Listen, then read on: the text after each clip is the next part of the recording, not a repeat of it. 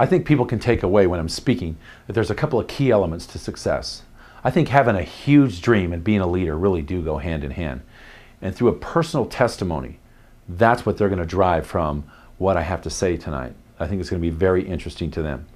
Also, adversity. Adversity has a way of introducing us to ourselves, has a way of tapping us on the shoulder and saying, I got something for you. And also, passion and desire, really the bedrock or the cornerstone of what it takes to be successful. It's going to wade us through those tough times.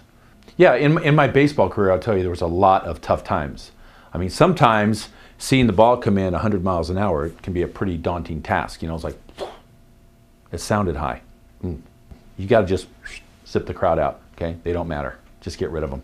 Success is built on a series of small conquests that over time builds up a momentum of its own. It's not about being grandiose once in a while. It's about being good every day. Pretty soon that momentum keeps feeding itself, and then you have an inertia of positivity moving in one direction. You want to talk about leadership? I'm telling you what, you want to see who the real leaders are in the world? Check the people with the arrows in their back. That's who the leaders are, because believe me, they put it out there for people. When you can lead with the servant's heart, people will follow you people that play the poor me, they play the meek role to try to get a one up on somebody else. You understand? I'm not talking about the people that are meek normally. I'm talking about using it as an advantage to try to get more in life, which I am against. At the next vacancy for God, if I'm elected, I shall forgive last the delicately wounded who, having been slugged no harder than anyone else, never got up again, neither to fight back nor to finger their jaws in painful admiration. They who are wholly broken, and they in whom mercy is understanding, I shall embrace at once and lead to pillows in heaven. But they who are meek by trade, baiting the best of their betters with extortions of a mock helplessness, I shall take last to love and never wholly. Let them all into heaven, I abolish hell. But let it be read over them as they enter. Beware the calculations of the meek, who gambled nothing, gave nothing, and could never receive enough. Mm.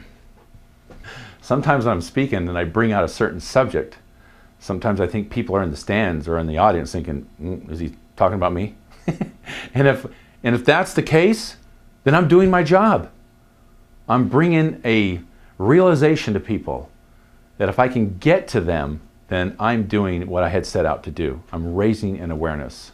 What's it like to face a Major League Baseball player throwing at 100 miles an hour? Well, somebody figured it out. And it's about three one hundredths of a second you have to decide whether you're going to swing the bat or not. I never thought it was a decision making process because, in that case, the catcher would be throwing the ball back to the pitcher already. It was more of a reactionary thing.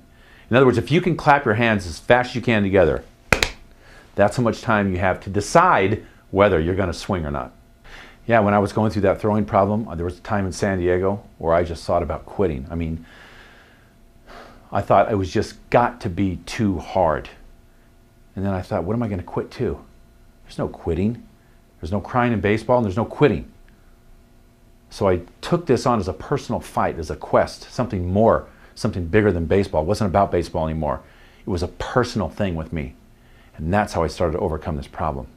My dad ruled the house with an iron fist. He was a tough German. He, my dad made John Wayne look like a wimp. Okay? That's the way he was. He, my dad was not going to star at Laughs Unlimited, and he was not going to write a romantic novel. I promise you. We all have these big dreams when we're kids. You ever ask a kid what they're going to do when they grow up? I'm going to be a ballerina. I'm going to be a lion tamer. I'm going to be an astronaut.